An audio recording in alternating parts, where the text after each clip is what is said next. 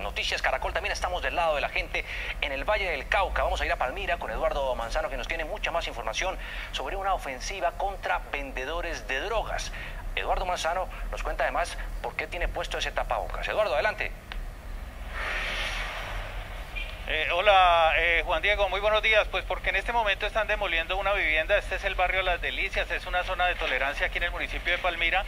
Y esa vivienda que están demoliendo era una casa donde se vendían eh, alucinógenos. Se hicieron varios operativos de las autoridades allí. Se decomisó material de guerra, se, decomisaron 37 granadas de 40 milímetros, un lanzagranadas y también fueron capturadas 10 personas. Fabio Mejía es el secretario de gobierno del municipio de Palmira y nos va a contar eh, cuál es el objetivo que eh, ustedes tienen con la destrucción de estos inmuebles. ¿Por qué lo hacen? Gracias, muy amable. Esto es una instrucciones del doctor Jairo Ortega Zamoní, nuestro alcalde, eh, cumpliendo el segundo eje del Plan Integral de Seguridad y Convivencia, que consiste en la parte situacional. la parte situacional es tener los escenarios, parte paisajística y medio ambiente muy bien tenida para que disuada hacia el delito. ¿Qué se va a hacer aquí?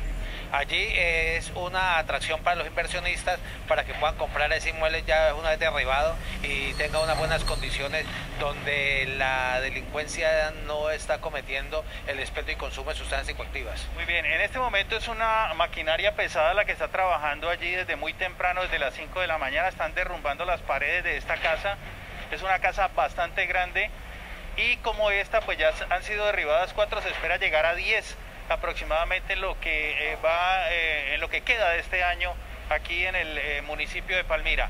En otras noticias les contamos también que en el municipio de Buga se presentó un hecho en el barrio María Luisa de la Espada, en el que un hombre atacó a su excompañera sentimental que había terminado con él hace ya algunos días.